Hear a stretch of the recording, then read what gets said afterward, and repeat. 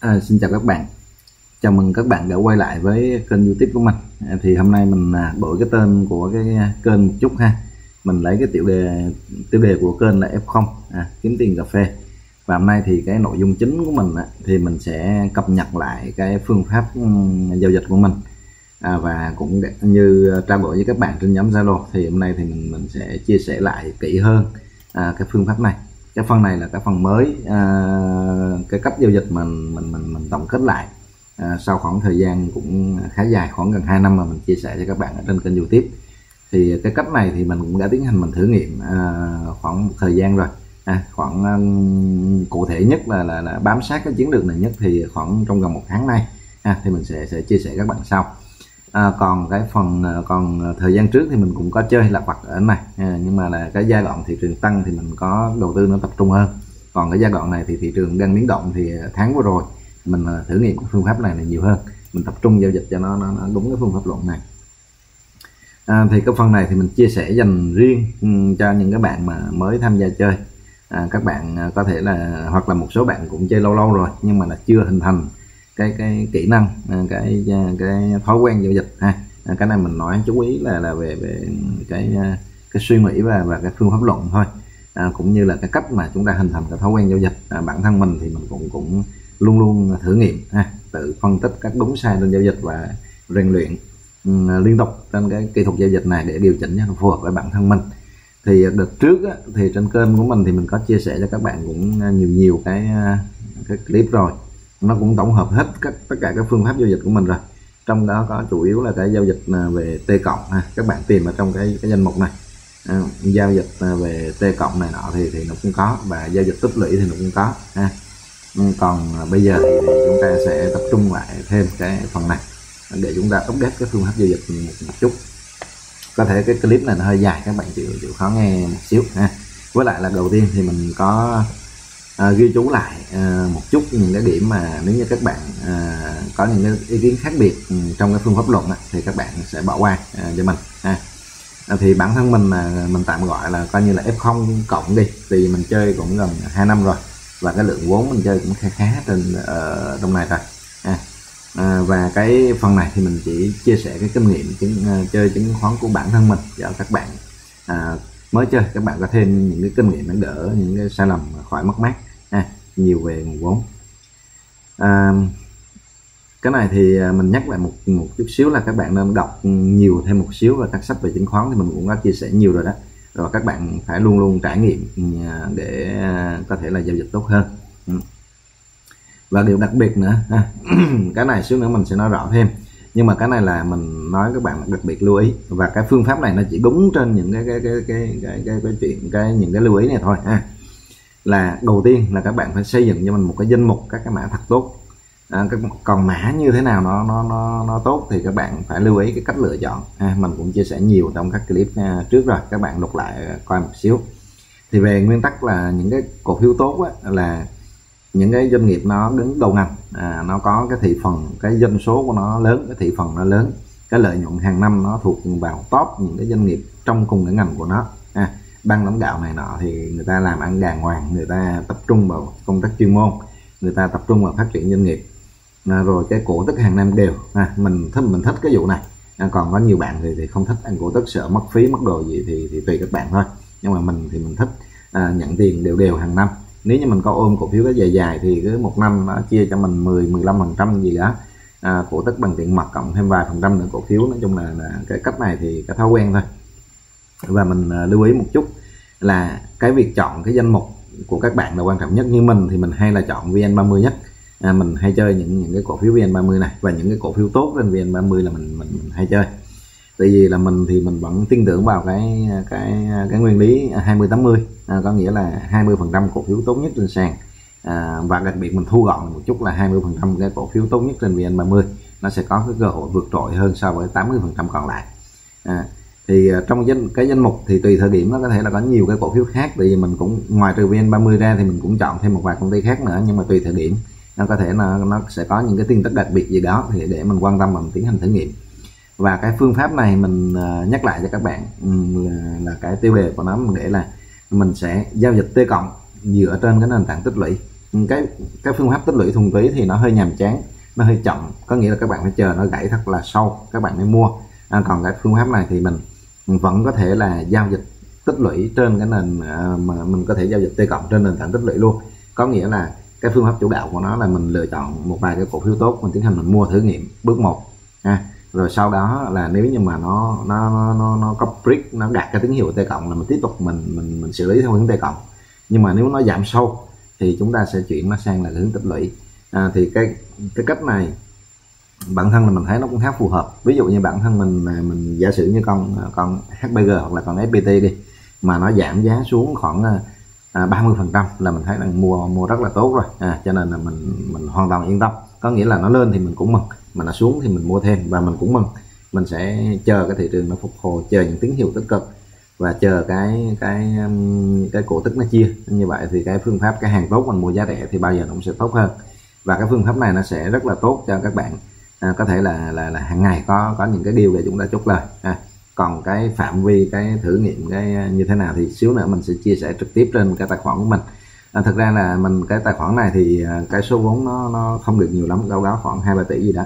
À, còn một cái tài khoản lớn hơn nhưng mà là hôm nay là cái BBS nó đang à, bảo trì rồi cho nên mình mình cũng không chia sẻ được. Với lại là cái phần này nó cái trên cái tài khoản này thì mình giao dịch nó nó theo hướng uh, hướng khác à, nhưng mà là mình cũng sẽ điều chỉnh thêm ở chỗ này để mình tận dụng tốt hơn cái lợi thế. Và cái phần này thì hôm nay mình tranh thủ mình chia sẻ cho các bạn. À, thì mình à, cái tư tưởng này ở đây mình sẽ nói rõ một chút này ừ. là bước đầu tiên á, là chúng ta sẽ chọn cái cổ phiếu tốt và sau đó là chúng ta sẽ tiến hành mua ha. mua tại thời điểm nào bất kỳ cũng được. Các bạn tùy các bạn nếu như mà các chúng ta mua mua một ít ở cái cái bước này. Giả sử như các bạn phân bổ vốn là ví dụ số vốn bằng ít thì các bạn mua tối thiểu là 100 con.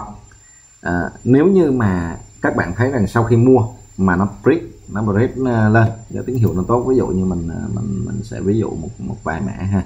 À, mình mình lấy ví dụ như cổ phiếu HBG luôn đi ha để mình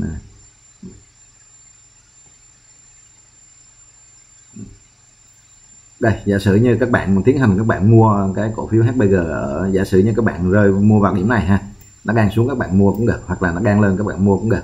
À, giả sử như các bạn mua ở ngay tại cái à, cái điểm này mình à, mình có thử có cái hình mình vẽ một chút.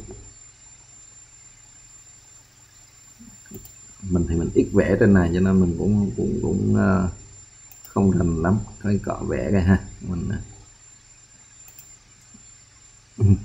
mình giả sử như là cái điểm à, ban đầu các bạn vào đi. À, mình ví dụ điểm này đi ha. Cái, cái điểm này.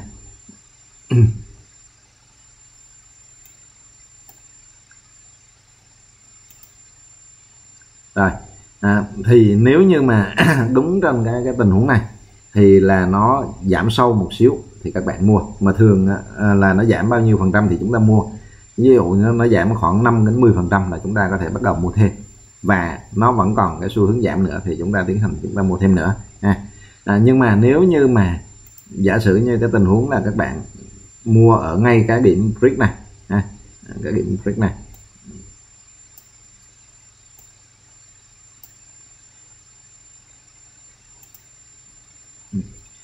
Thì nếu như mà nó đạt cái tín hiệu T cộng ví dụ như có cây nến brick này rất là tốt thì chúng ta sẵn sàng là chúng ta gia tăng lên lên lên một khúc nữa ha à, ta sẵn sàng ta mua thêm nhiều để chúng ta giao dịch theo T cộng. Nó tăng lên thì càng tốt nó tăng nhiều thì chúng ta tiến hành chốt lời. Ừ, và nếu như nó giảm nó trong cái tình huống mà nó giảm thì chúng ta sẽ chờ. Chờ nó giảm đâu đó khoảng 10 15 phần trăm gì đó à, thì chúng ta sẽ à, sẽ tranh thủ chúng ta mua. Còn nếu như mà trong trường hợp nó giảm không tới thì về mặt bản chất là chúng ta vẫn còn một khúc lời ở chỗ này. Thì chúng ta sẽ sẽ có thể là tiến hành chốt lời tùy tùy các bạn. Nhưng mà cái mình nhắc lại là cái phương pháp này là nó sẽ rất là phù hợp cho cái việc mà à, thị trường tốt thì ta cũng ăn mà thị trường xấu thì ta có cái dịp chúng ta tích lũy à, trên cái cổ phiếu nó, nó số lượng cái cổ phiếu tốt nó nhiều hơn. À, thì cái này nó có thể là có rất là nhiều bạn không đồng ý về cái cách cái cách cái cách này gọi là cái cách mua trung bình giá à, trung bình giá xuống. Thì nhiều bạn theo cái trường phái của Mark Manavini à, cũng như của William Zionel thì à, các bạn không chịu cái cái cái cái, cái phương pháp can, can slim á thì các bạn là không chịu theo cái nghĩa này. À, còn với mình thì à, ngoại trừ cái chuyện là là chúng ta mua cổ phiếu trên cái biến động diễn biến của thị trường ra à, thì chúng ta còn phải hiểu về đây cái doanh nghiệp đó nữa. À, bởi vì dạ, trên thị trường là có những cái đợt mà biến động giá nó không vì những cái lý do gì cả. À, đặc biệt ví dụ như các bạn thấy rằng ví dụ như HBG từ tháng trước tới tháng này à, thì hầu như là cái doanh nghiệp nó cũng chả khác gì mấy. Ừ, có chăng là lo ngại tình hình à, covid này nọ nhưng mà cuối cùng là số liệu nó vẫn chưa ra. Ha. chúng ta vẫn vẫn có dịp chúng ta chờ. Và chúng ta cứ mua ờ, cứ mua dần xuống. Phân bổ vốn nó đều một chút. Cái chiến lược phân bổ vốn thì các bạn tự tính toán. Có thể là tỷ lệ 1 2 4 tùy các bạn. Nhưng mà là à, cái này thì các bạn làm sao làm để cho cái cái tỷ suất cái cái cái cơ cấu của cái tổng vốn các bạn đưa ra. À, các bạn mua trên mã thì thường là nó không giảm quá 5 phần trăm khoảng 10 phần trăm. 10 phần trăm thì nếu trong trường hợp xui rủi lắm à, đến kết thúc quý thì nó chưa nó ra báo cáo kết quả kinh doanh thì thì lúc đó chúng ta nhận định nếu mà xấu quá thì thì chúng ta sẽ bán. Ừ.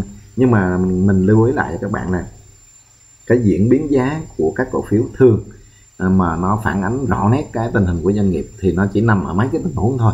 Một là cái báo cáo kết quả cuối năm nó ra xem thử như thế nào. Thứ hai nữa là nó sẽ cái báo cáo hàng kinh doanh hàng quý. Thì những cái thời điểm đó là cái biến động giá nó thực chất nhất tự nó phản ánh được cái nội tại cái kết quả kinh doanh của doanh nghiệp nhưng mà còn phần lớn thời gian còn lại thì nó biến động chủ yếu là theo tâm lý và theo cái diễn biến thị trường. À, thì ở Việt Nam mình thì chủ cái phần phái sinh nó cũng là cũng là một cái tình huống rất là nan giải. Nó nó gây những cái hiệu ứng giá nó nó, nó hoàn toàn nó hoàn toàn không không phù hợp với cái quy luật tự nhiên. À. rồi còn có ATO, ATC những cái tình huống đó thì nó nó nó gây xáo trộn trong trong cái việc nhìn nhận về về về giá và khối lượng thì hôm à, thì buổi trưa nay thì mình còn có giới thiệu các bạn cái cách mà chúng ta coi tìm kiếm cái cơ hội trong cổ phiếu rồi. À, à, thì các bạn coi lại cái clip đó một chút. À, thì bây giờ cái phần tiếp theo mình sẽ tập trung giải thích rõ hơn trên cái, cái tài khoản giao dịch của mình. À, thì các bạn biết rằng là cái danh mục mình hơi dài. Các à, nhiều bạn à, đợt trước á, cách đây à, à khoảng à, cái giai đoạn mà trước trước trước khi thị trường nó gãy hai ba tháng vừa rồi cái giai đoạn mà vn index nó đang trong cái đà tăng lên 1400 á, thì mình mua rất là tập trung à, và mình mua theo điều rất là tập trung. Cái phần kết quả nó cũng khá tốt à, nó nằm ở bên trên tài khoản này. Ừ, hôm nay nó bảo trì mất nhưng mình không sâu được cho các bạn. Còn cái phần này thì mình chủ yếu là giao dịch trong vòng từ ngày 1 tháng 7 đến giờ ha à, từ ngày 1 tháng 7 đến giờ. Thì à, từ ngày 1 tháng 7 đến à, đến cái à, do nó vướng cái cổ phiếu CTG nó chia cái lượng nó nó giam cái lượng tiền cho mình mình không giao dịch nhiều trong cái tháng 7 nhưng chủ yếu cái phương pháp này mình áp dụng trong tháng 8 à, thì cái danh mục mình hiện nay là mình đã xử lý à, mình đã chốt lời một số rồi. Ờ, gần như là trong cái danh mục này hiện nay là mình chưa chốt lỗ mình chưa cắt lỗ. Thì ở trong này nó có cái à, cái báo cáo lại lỗ thì mình sẽ so cho các bạn thấy từ ngày 1 tháng 8 giờ. Thì đâu đó rơi vào khoảng 115 triệu ha. Tổng tổng cái lời lời lỗ đây cái CTG này về mặt bản chất nó nó nó nó không lỗ đâu chẳng qua nó ăn vô nó ăn vô cái giá trước á. Tại vì cái giá trước mình mua cao sau đó nó chia cổ tức ha. À, thì à, cho nên là nó ghi nhận như thế này. Nhưng mà còn cái cái con CTG này là mình ăn t không. Có nghĩa là buổi sáng mình mua giá thấp và buổi chiều mình bán giá cao thì mình mình mình, mình ăn t không này. Tuy nhiên trên báo cáo này nó đang hiển thị à, nó đang ghi nhận lỗ là do nó ăn vào cái giá trước. À, chứ còn bản chất là toàn bộ các điều này là mình đều đều chốt lời cả chứ không phải là là, là cắt lỗ ha thì cái cách mình mua mình mua khá đơn giản như thế này. À, à ví dụ như con VB băng mình tiến hành mình mua hôm vừa rồi thì mình nhìn thấy cái tín hiệu nó cũng khá khá tốt. À, VB băng cũng là một trong những cái ngân hàng à, rất là mạnh ở trên thị trường trong cái đám à, ngân hàng tư nhân. Và hiện nay là cái kết quả kinh doanh số liệu này nó cũng tương đối ổn. Và mình tiến hành mình mua thử nghiệm 100 cổ phiếu ha. Ừ, mình mua thử nghiệm 100 cổ phiếu. Nếu như mà trong cái tình huống mà cái phiên tiếp theo à, cái cổ phiếu VB Bank mà nó chỉ cần nhích lên khoảng 23 phần trăm và mình quan sát ở trên đồ thị của nó. Nếu như VB Bank mà mình quan sát trên đồ thị nó tốt thì mình sẽ tiến hành là mình mình mình mua T cộng ngay. Nó khoảng 2 phần trăm 3 phần trăm là mình thấy ok rồi mình ổn rồi mình, mình sẽ gia tăng một cái lượng. Tất nhiên là chúng ta sẽ phải phân bố vốn sao cho nó hợp lý. Giả sử như nếu có một cái cây brick mạnh ở trên này sau này có một cây brick mạnh khối lượng lớn và cái giá nó nó, nó tăng lớn và cái lượng mua chủ động lớn hơn cái lượng bán chủ động là mình sẽ tiến hành là mình mình mình à, mình, mình canh me liền ha. À, mình sẽ bổ sung ờ, vào. Ừ. Ở trên này có con chưa có cái con nào nó rõ nét lắm cho nên mình ờ, để mình xem thử trên cái ừ. Thì ờ, đại loại à, cái cái phương pháp này thì nếu như nó có cái cái cây prick lên là mình sẽ tiến hành mình mình gia tăng ngay. Mình gia tăng ví dụ như ở đây hiện nay đang tỷ đang có 100 con thôi mồi 100 con. Cái lượng vốn hiện nay để mình mua nó cũng không nhiều à, cho nên là mình trăm con thì có thể là nếu như brick nó đạt cái tín hiệu về tới cộng thì mình sẽ tiến hành mình nhồi thêm khoảng đâu đó khoảng 900 con 800 con hoặc là có thể là tùy vốn à, một ngàn hai ngàn gì cũng được ha. Ừ. thì nhưng mà nếu như lỡ như nó quay đầu nó quay đầu nó nó nó, nó xấu đi ví dụ như cái tình huống cái con CT MVG à, hiện nay các bạn nhìn này nó đang là 10 phần trăm bởi vì nó điều chỉnh do cái cổ tức ha. Phần lớn là mình sẽ tiến hành mình sắp xếp cái danh mục mình ở đây những cái con mà lời mà khoảng 7 đến 10 phần trăm là mình tiến hành mình chốt. Là mình chốt. Và những cái con mà nó lỗ sâu nó giảm khoảng 10 phần trăm là mình bắt đầu mình mua thêm. À, thì mình là mình thường hay chờ đợi. Nếu như 10 phần trăm thì chúng ta sẽ tiến hành mua một cái lượng cổ phiếu nó lớn hơn. Ví dụ 100 thì chúng ta sẽ mua hai ba trăm gì đó. À, thì cái cái tỷ lệ cái khi mình trung bình giá xuống nó sẽ thấp hơn nó đâu đó khoảng còn khoảng là là là bốn năm phần trăm gì đó.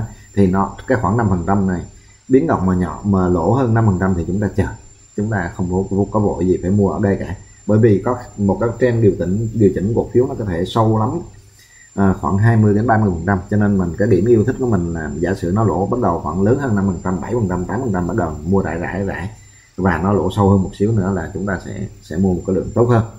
À, thì cái này là chúng ta phải hiểu rằng chúng ta bản chất của nó là trung bình trung bình giá xuống. Nhưng mà là thực ra là cái cách chúng ta đi gom tài sản tốt ở ở giá rẻ chứ không phải là trung bình giá xuống. Theo cái nghĩa là chúng ta không có một cái hiểu biết gì về doanh nghiệp chúng ta không có kỳ vọng gì mà chúng ta mua một cái con hàng à, trôi nổi một cái, một cái mặt hàng mà chúng ta không không biết được nó có lợi thế gì hay không nó có nền tảng kinh doanh tốt hay không.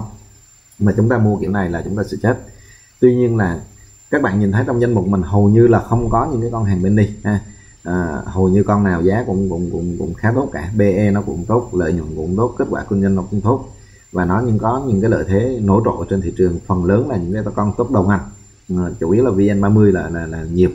Ví dụ các bạn nhìn thấy VN Direct này, DigiWorld này, BNG này, Vic này, Vinhome này, à, Dược IMP này, ngân hàng ACB, Novaland đứng đầu về, về uh, Novaland này, trong cũng trong top 3 các công ty bất động sản này, SSI đầu ngành về chứng khoán này, ừ.